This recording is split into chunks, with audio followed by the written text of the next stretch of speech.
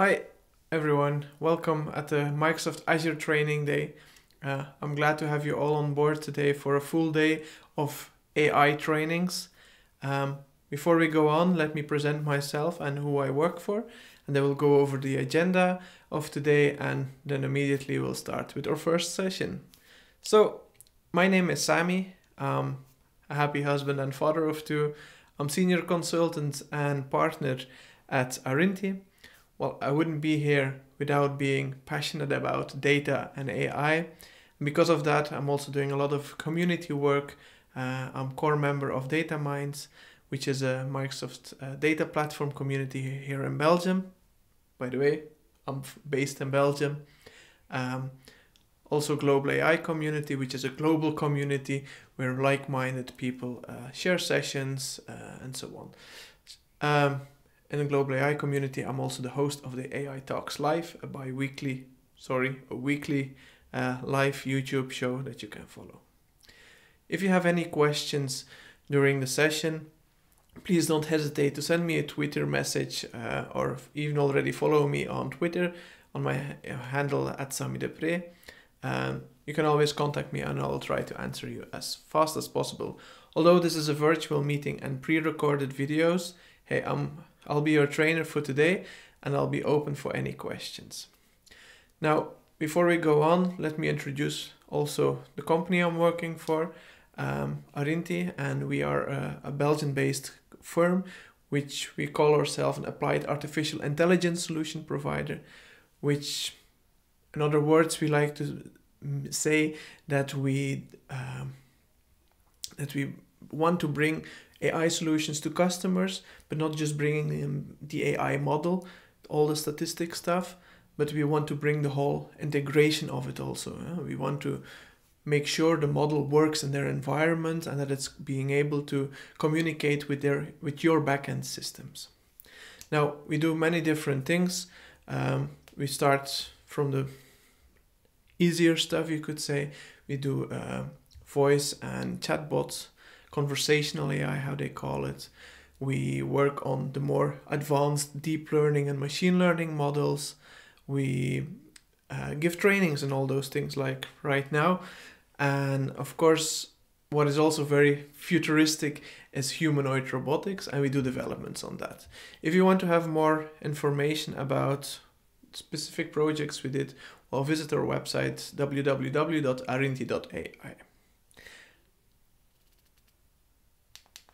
All right, our agenda for today. So, our first session, making sense of your unstructured data with AI. Well, it's a quite interesting one because we all have a lot of data somewhere stored in a folder, but how are we going to work with it? Second one, using pre-built AI to solve business challenges. What does Microsoft already have that we can reuse within small applications? And then how we can make our machine learning models, how we can make them quite fast. And it's not always that difficult as you think. This is all for this morning. This afternoon we will do three different other sessions. We will take we'll build the models that we have and we'll bring them to a next level. We'll increase their efficiency. And after building all those models, well, we want to have a decent way of bringing them into production. We have DevOps, for software development, but you have also DevOps for data science, or other people who would call it ML Ops. And then our last session for today will be about automated machine learning, where someone with little limit, little knowledge of machine learning can even build a quite awesome uh, machine learning model. Okay, so our first session of the day. Let's talk about making sense of your unstructured data with AI. Again, you have my Twitter handle. If you have any questions during the day, please don't hesitate to ask me. Now, we'll start with a little story. Now, you are a developer and you're a very hard working professional. Very hard. Works really, really hard. And then your boss comes to you. And then you're like, okay since you're a good worker you you give him an ear and you want to listen to what he is saying. And your boss said, Well, you know, yesterday evening I was looking around in the database, I was trying to learn a bit of SQL, and I think I pushed the wrong button and the database is gone. And you're like, um, what? What did you do? And then the boss says, well, actually, you know, I even promised the owner we would get it, the data back. Okay, okay. Uh, and the backups? Yeah, I removed something.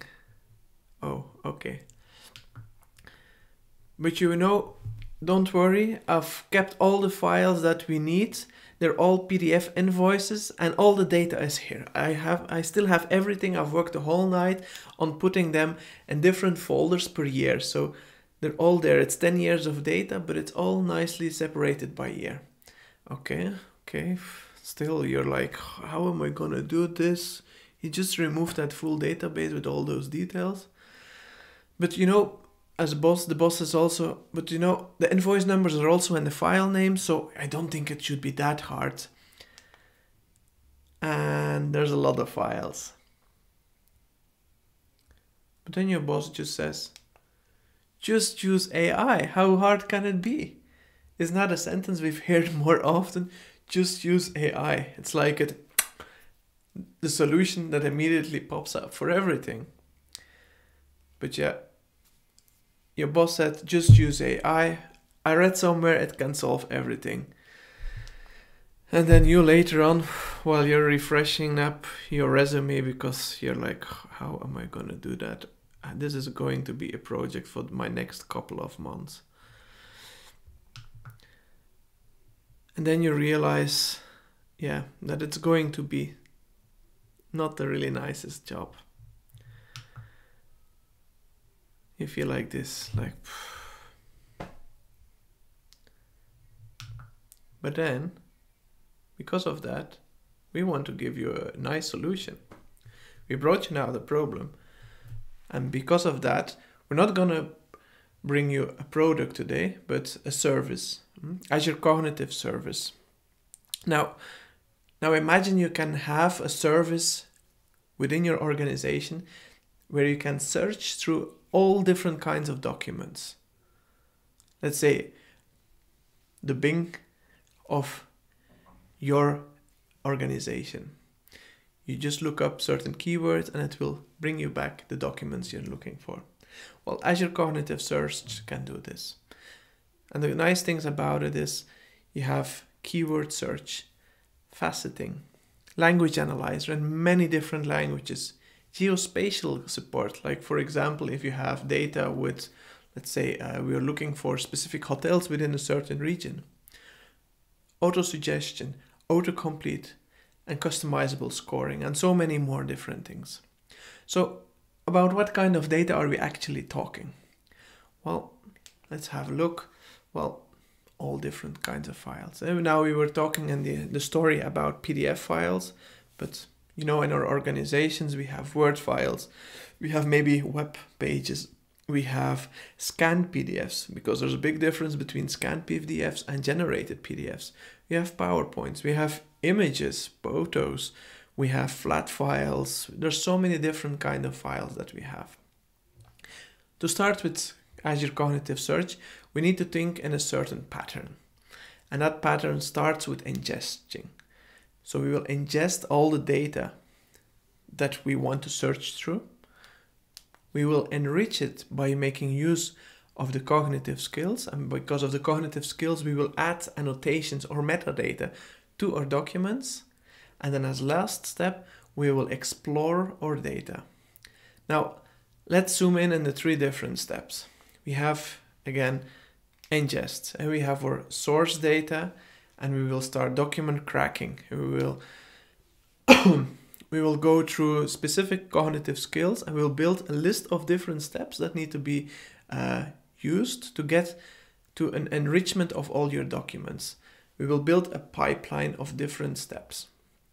And after that, well, we'll go through being able to search through all the documents and their metadata. Now, go back to the ingestion. What kind of connectors do we have? Well, there's a, a nice amount of uh, storage accounts, storage connectors that are there. Classic SQL Server, uh, NoSQL types like a Cosmos DB, Azure Table Storage, the classic MySQL, um, Azure Files, Azure Data Lake Gen 2, and a classic blob storage. So this kind of connectors or this kind of data sources can handle quite a lot of different types of data. And then on format file, uh, formats type of data, again, there we have a different number of types. As we discussed already, PDFs, images, even X XMLs, and so on. Document cracking starts and we will get text, metadata, and images. That's the first step. Now, the next step is using cutting edge AI to get more data out of it. Because by classically, okay, an image from a photo, we can extract an image of it. From a PDF, it might be an image or certain text that we can easily extract with any other tools. But we want to get more data. So by using the AI tools of Microsoft, we can get who's on the picture, for example, or in what language is the document written, or um, if it's a picture, for example, while I'm living in Belgium of the atomium, uh, it will recognize it's the atomium. Is the text in a positive sentiment, or are pe people talking badly? All these kind of details can be interesting for your organization to have in this kind of metadata uh, field. So how does it look? Sample skill set. The first parts we will do, for example, in this case, is we will extract the printed text on it. This is step one. At the same time, we will do object detection on the pictures that are there. And the third step might be face detection of people who are on the picture. Now, if we collect all that data together, we merge it into a, a, a text field, then on that we can do a text analytics field uh, extraction, where we could pick out about what organizations is this document talking about, about what location, or even what persons are they talking about. Now, it's not always possible to have everything that you want with the default skill sets, but because of that, we also have the option to add custom skills. So to wrap it up, this is the enrichment part. Now, the next step after enrichment is explore. So the cognitive search API has different ways of being able to query your data. So we have free-form text. We can filter out on specific uh, specific fields. Like for example, we want documents that are only in English or documents that are only in Chinese and so on. There's fuzzy magic, fuzzy, fuzzy matching. There's uh, range lookups uh, and so on and so on. Of course, wildcards and so on are built in also. So once the cracked data is enriched, the data is all saved in a specific index, and then this index can be searched in a powerful way. So let's just start with a build, with a demo and see how things are done and how we can do it. So what are we going to build? Before we start, it's important to recognize what is being built. First, so a skill set, it's to enrich the cracked data, eh, the text, the images, and the metadata, to get the extra data out of it. An index is just the database where the cracked and enriched data is stored and later can be searched through. And then we have the indexer, who's actually just a job that looks at every document, crack it open, and then runs the skill set and saves the data to the index. Now, let's set up something and see how it's actually done. So we're going to the Azure portal and we're going to cre start creating first uh, a resource group. For so we'll create, uh, put the name, we choose a region. A region, of course, depends on the area we are living in. Once we then we go to the resource group, I will create a storage account where we will save some documents in. So we look for storage accounts, we create one. Again, we choose the resource group, we give the storage account a name, choose a region, and we just go through the next of the steps to create valida validation and create. We wait until it's finished. Uh, we go to a resource. Click on containers. I will create a container where we can save our files. We'll just give it a, a dummy name now, test. And now we open Azure Storage Explorer, it's, which is a, an easy tool to upload uh, files to your storage account. It can be done through the portal also, but in, if it's bigger, a lot of data, then it's easier to do it through the storage explorer. So we can just copy, well, just drop it into the storage and the data is in there now. So, so we have our storage account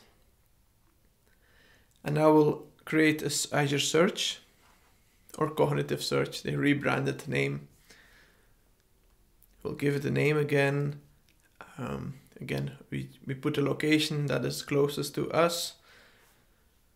So for, for Belgians, it might be West Europe. For the people from Ireland, might be Northern, I Northern Ireland. Yeah, there's also a region there. So once deployment is finished, we go to our resource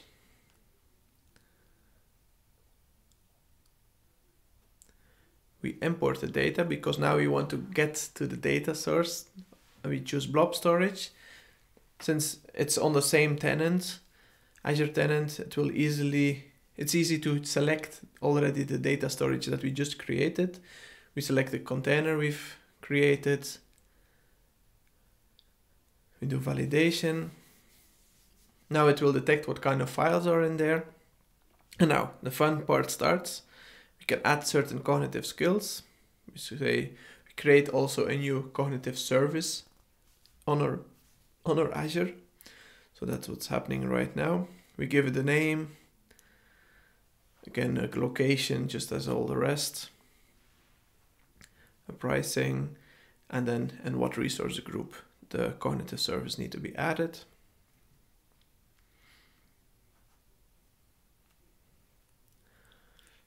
All right, we go back to Cognitive Service, Cognitive Search.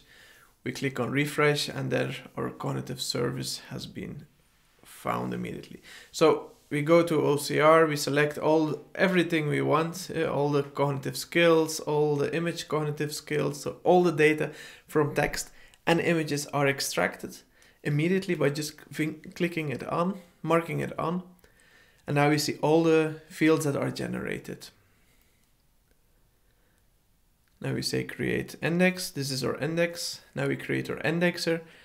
And here we can give in when, how many times and when it needs to run. Or which files we want to exclude and so on. We'll leave that all by default for this case. We do validating. And our index starts running. You see it's our indexer is running and it's in uh, progress. So if we give it some time, we will see that more documents will be added to the system. And now we have 20 documents already. So now we can just search for something. We'll just say star and we get all the documents that we get back. So you'll see all the text that were in our um, PDF files are now there. And we have text, we have image tags, um, we have people, we have organizations, everything is there. Now, this is of course not yet what we want.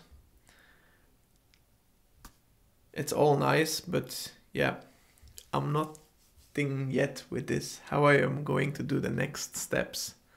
Or is this just it?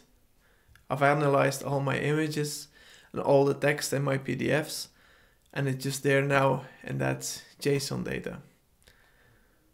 Well, it has a lot of use. Uh, we have already seen quite some stuff, but we need to reconstruct our database and the default thing, yeah, it didn't really work out.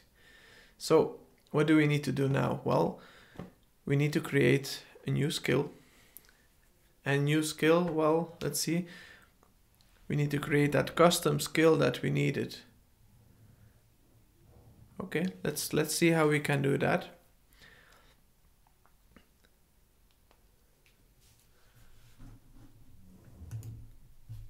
So what we, sorry, so here we have contents of the PDF, and uh, all the text and everything, but that's not in a way that we can reuse to create our database again. So what we actually want is something like this, hmm, where we have our invoice ID, we have our order date nicely converted in that way. But you know, there's another service that is perfectly made for that and we can combine them. So for that we have the form recognizer. The form recognizer applies advanced machine learning to accurately extract text, text, key value pairs and tables from documents and with just a couple of samples, form recognizer will tailor its understanding to your document, both on-premise and in the cloud, and turns forms into usable data at a fraction of the time and cost. So you can focus more on, on actually on the information than rather compiling it. So how do we do it? Let's start by creating another container where we add our training data for the form recognizer. Okay. So again, we go to our Azure Storage Explorer where we will add some data to that container. So go back to our files, we'll add some other files that are not the same as the ones we really want to extract. It can be, this is just an example.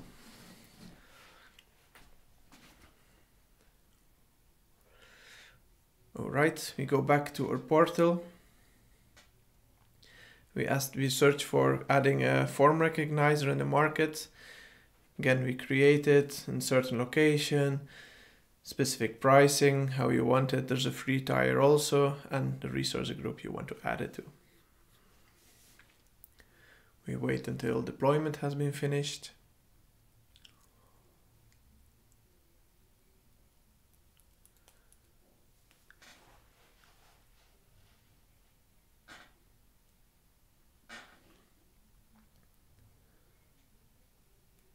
All right that's finished.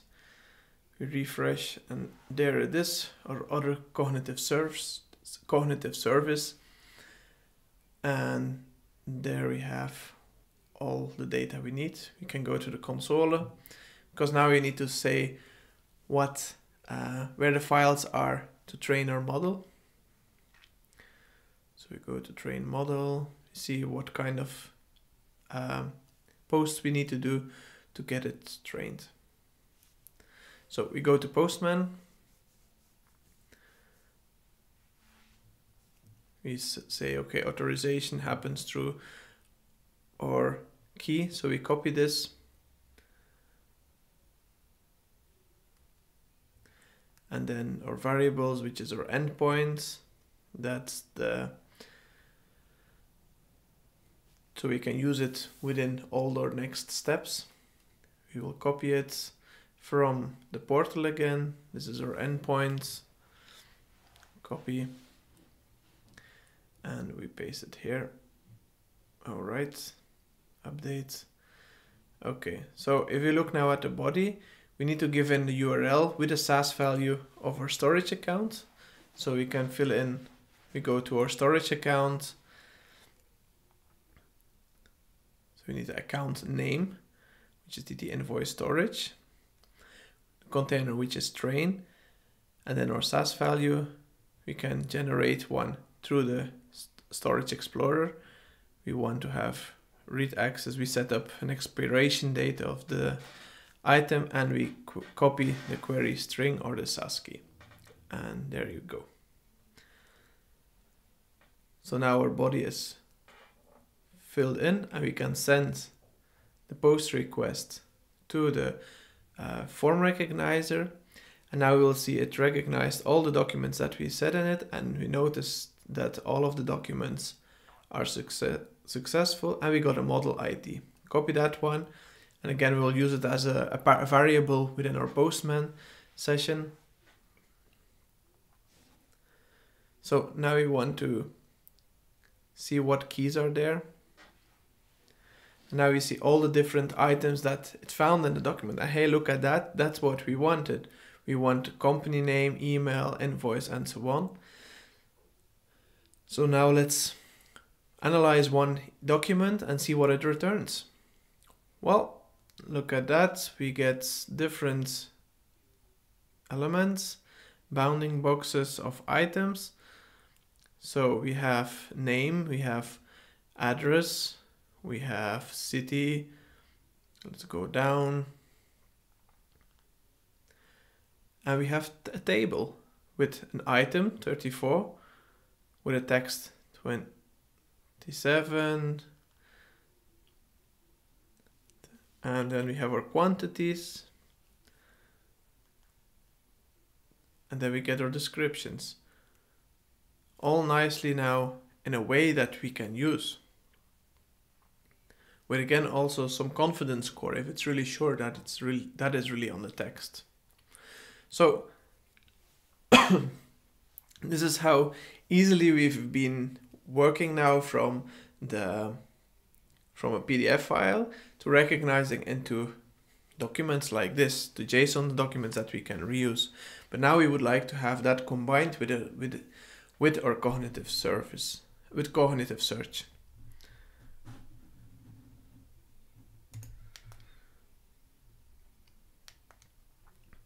So now that it's trained, we want to create that custom skill that is incorporated within the cognitive search. Now, how, we, how do we want to build that? Well, the new skill will extract the key value pairs that we want to add to our index. Hmm? So what will happen? Well, a custom skill has exactly one job. A skill can be very efficient but a skill needs to work also in an imperfect world. We know it's not always going to be perfect, exactly the way how it should be done. So the interface has two different items. It has an input, which will be uh, for us the URL of the file, and it will have a simple property of different output variables.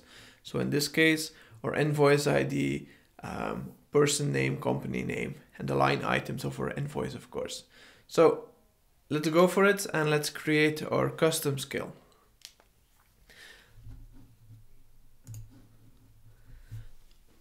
So we open a command window and we'll just create a function. Um, this is uh, creating with the .NET uh, command to have a just an Azure function and so we can open it to Visual Studio Code.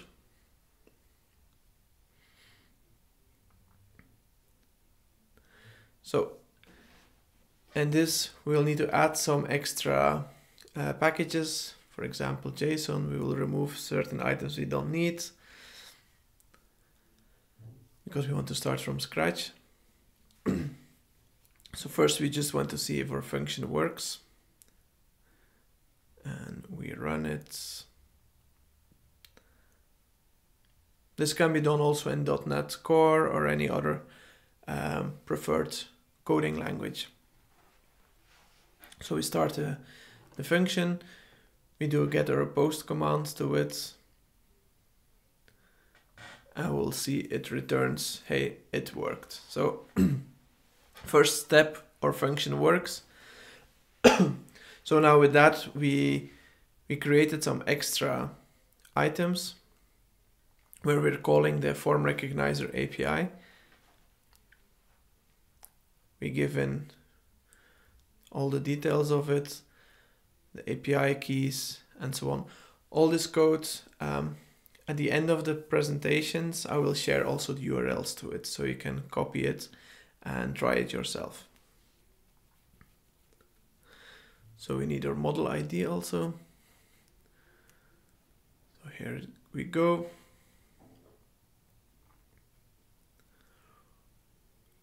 And that's our last step.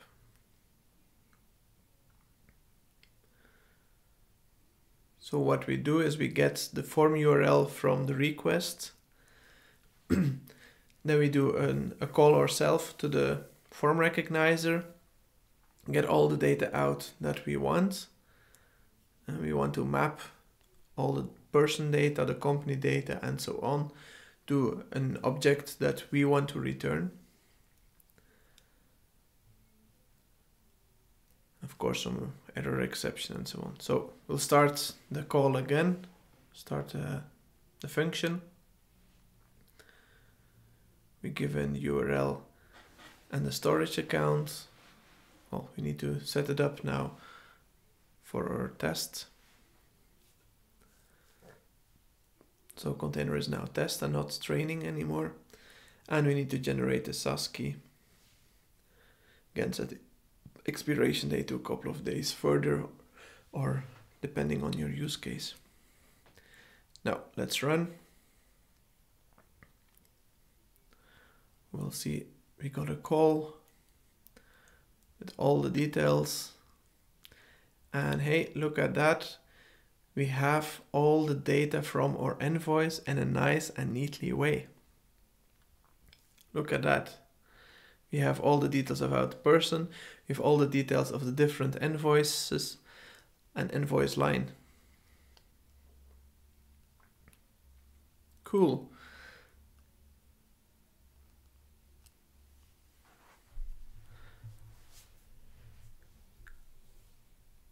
So we'll create another skill storage. Uh, it's another blob storage on our um, Azure tenant in the same resource group.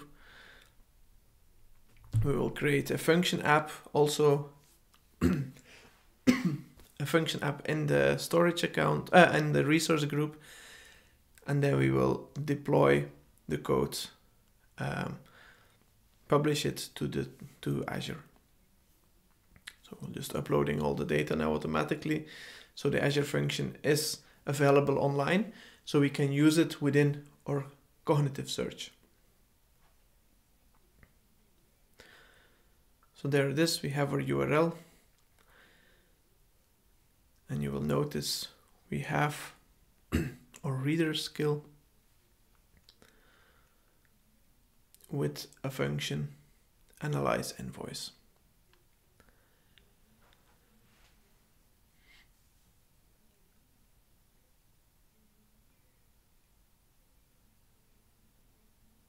Here we go. It's the same way you can also look at it in Visual Studio Code. Visual Studio Code is a really low memory application uh, for for development. It's really nice tool um, with a lot of extra features. Okay, so if we go to config, we'll also see that the values of our endpoints and our form recognizer key are configured there. So we could also change it in case we're moving to another uh, subscription or other tenant. So we copy this, paste it into our settings. now we want to do the call, but to our Azure function to see if that still works we want to call the analyze invoice and on the same document and just double check if we still get the same response. And hey there still all looking great.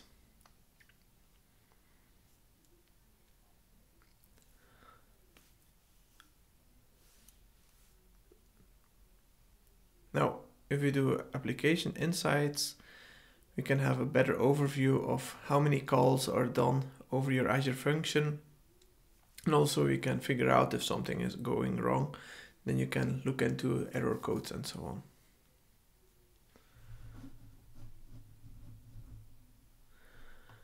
Okay.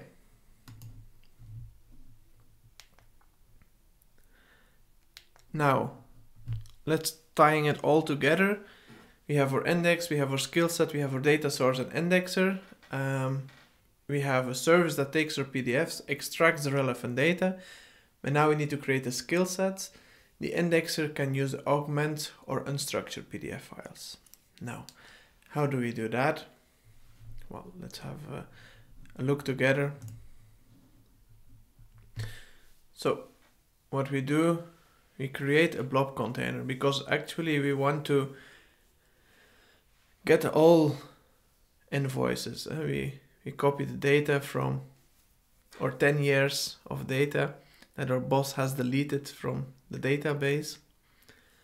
This will take some time in uploading, but no worries, we'll, it's quickly done. now we need to alter our skill set of the search service. Adding a custom skill is not done in the portal, but you need to look into the skill sets structure that is saved within a search service. So what we're going to do now is we're going to add that skill into our set. So we, we get, we fill in all the details of our uh, skill set.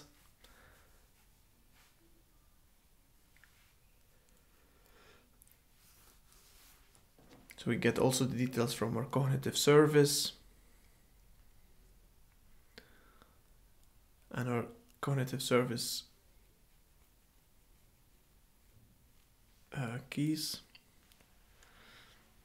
from our um, form recognizer. There you go, update. So we have all our invoices, create index. So this is how our body looks like. So for every field that we want, we will need to set up if it's uh, facetable, filterable, and so on. This is what you can do in the portal also, but if you want to put it, for example, in source control, you need to do it this way. So if you look now to our indexes, you will notice we have a second index with zero files. And then in the fields, we will see everything that we added. And hey, we had now a specific fields invoice all the details of our invoice, the company, the person, and the line items nicely structured, how we want them in our database. Okay, next step. Now we need to create the pipeline to get there. so we add a custom web API skill set. we need to copy the URL, just already set here. We do a post to it with our form URL, the SAS token, and our output is all the details from the invoice that has been configured within our Azure function. Now we need to go to our search service and now we will see we added an extra skill set with only one skill because actually we don't need the others. We just need the, the image of the document and uh, send it to the form recognizer.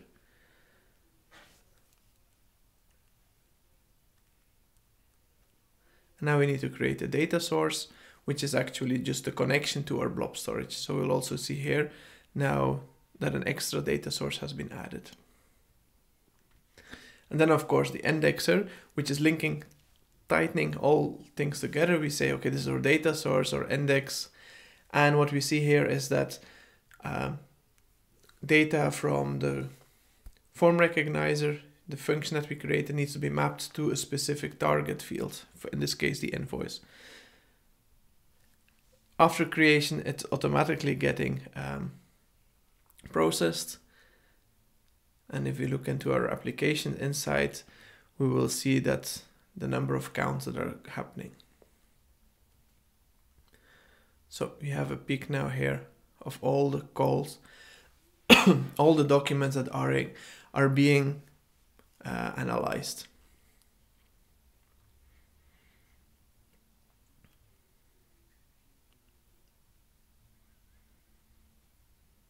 So this is also a good way to debug and figure out what goes wrong. And we see immediately also the responses that happens within the Azure function.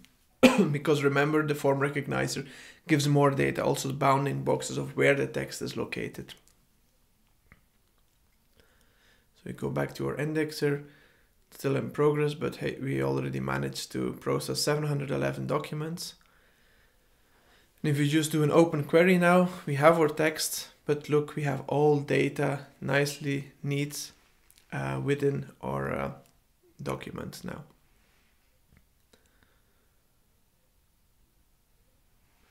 So maybe we just want to get the data of the invoices. now we see we have 847 already because we're adding the count. Now we only want to have invoices in from Australia. Was that something that you could do maybe beforehand with your database? Who knows? so with search query, you can figure out many different things without with straight on your documents.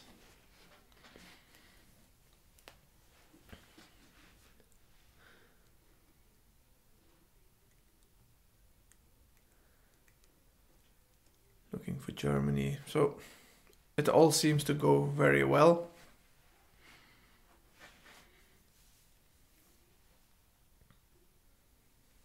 So with this, we have all the data of our cognitive of our invoices ready to be put in our database.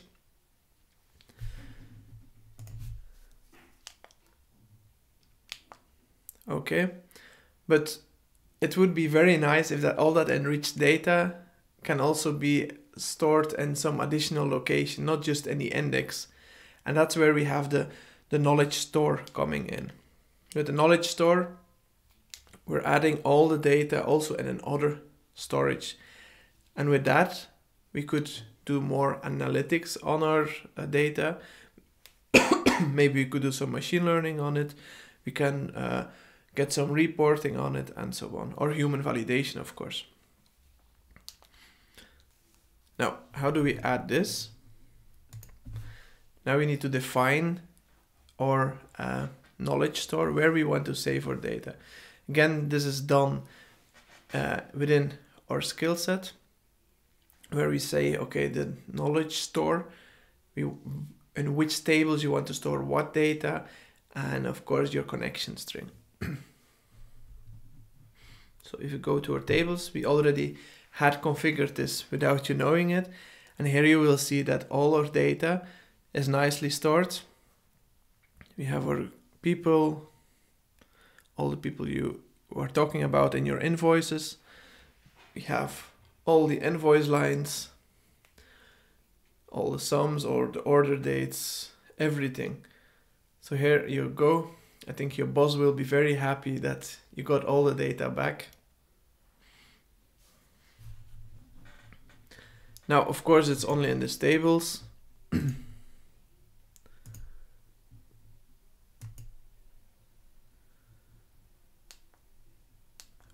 sorry. But hey, we can look at it in a on a Power BI report, see or see uh, how much sales we are doing where, uh, and so on. So once all the table is in that storage, you can do all kinds of things. Uh, you can reconstruct your database, how it was, uh, create a Power BI dashboard, and so on. So to summarize this session, ingestion. We have all the different data types that we can read from.